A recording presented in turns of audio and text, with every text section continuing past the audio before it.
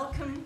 Um, I think we need to make a start because we have a lot to get through this morning. Um, my name's Najla and I work on the Open, um, OpenAIRE project. Just a couple of um, housekeeping. We have a coffee break at 10.30. This will be here in this building. Lunch will be in another building on the sixth floor. I've been informed. So, and we don't have, we only have 50 minutes for lunch. So if you could get speedily out of this building into, into the other building, up to the sixth floor, have your lunch and come down again. But um, you can, maybe you have a chance to enjoy the nice fresh air of Vilnius this morning. This event is actually being live streamed today, and there's a link going around via Twitter. Thank you. Um, so, welcome everybody who's watching from afar. Um, so, this is one of our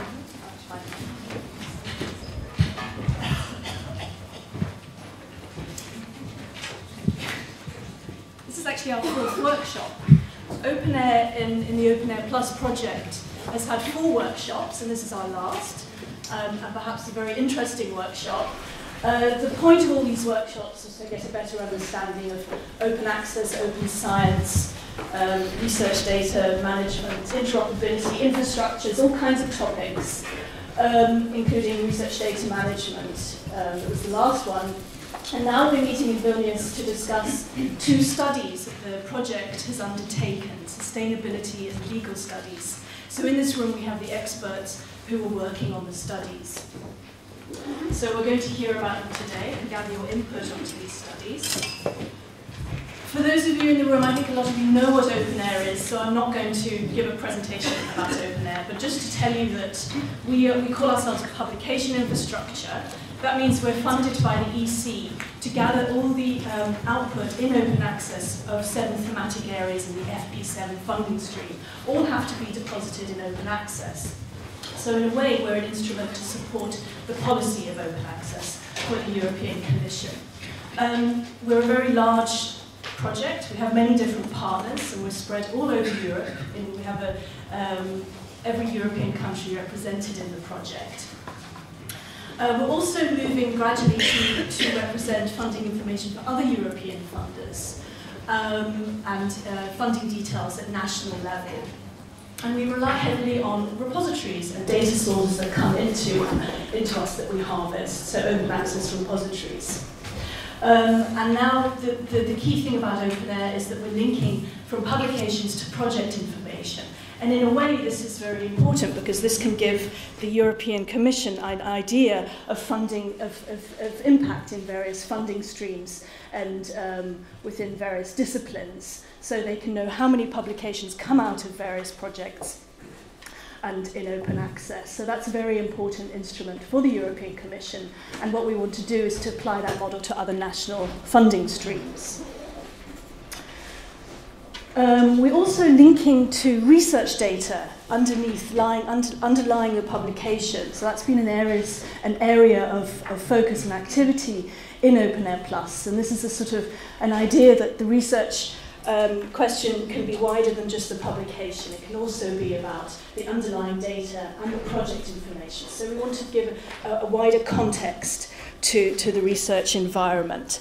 Um, so we're linking to data and this is really um, where the, the context of the first study, the legal and licensing issue, comes into, because when we link to data, we know very little about the data, um, the copyright and the Database Protection Act that we're linking to. So this is what you're going to hear from the legal team today. It's what's in it for us as an infrastructure, what um, difficulties might we encounter in having data centers as our, and data repositories as our data providers.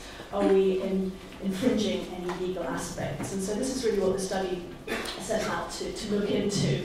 And it looked into six different countries. I think it examined database protection um, act in six different countries and did a very thorough investigation of activities in those countries. Um, and also, um, it had um, an application because it had many case studies, which will also hear presented today, which might be applicable for you in the audience. So we look forward to hearing about that.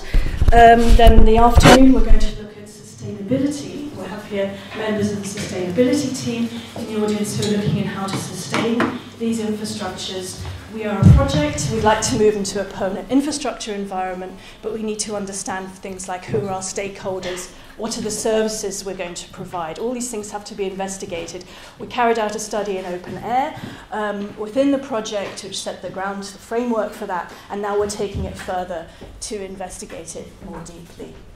So you'll hear from the team in the afternoon. And I think the point of this, this whole um, is that we would like to have an interactive session. We'd like to have your input on this and your questions and your comments. I think the teams would appreciate that very much at, at this stage of, of their studies. So please participate.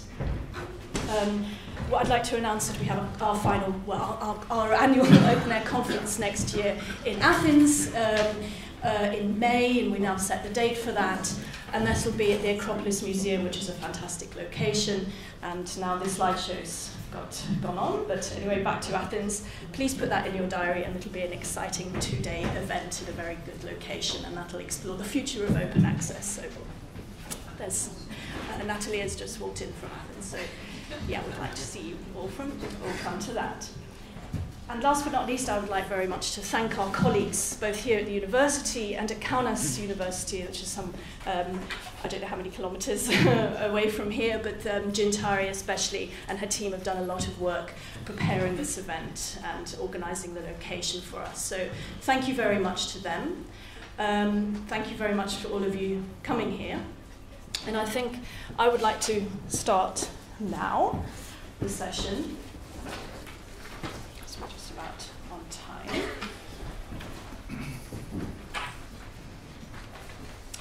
So I'm going to introduce, first of all, Professor Weber, who we're very lucky to have with us. He was um, very much involved in authoring this study. He is the chair of intellectual property law at the University of Göttingen, chair of intellectual property law, media and ICT law, and his specialism is in electronic contracting. Um, he spent a time in Vienna at the University of Economics, and he also was also had his professorship at Stanford Law School, and he just told me that it was too sunny there, so he returned to Germany, back to Göttingen. So, um, Professor Weber, I'd like to introduce you, and he's also going to give us the whole picture of the study, introduce the study, and focus on the forms of protection in the study. So, what, what sort of database right, copyright, and, and maybe explain to us what the sui generis right actually means. So, thank you very much, Professor. Over to you.